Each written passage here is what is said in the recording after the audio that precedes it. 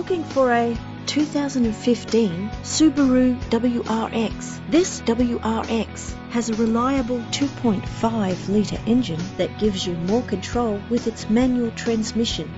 The attractive white exterior is complemented by its stylish interior.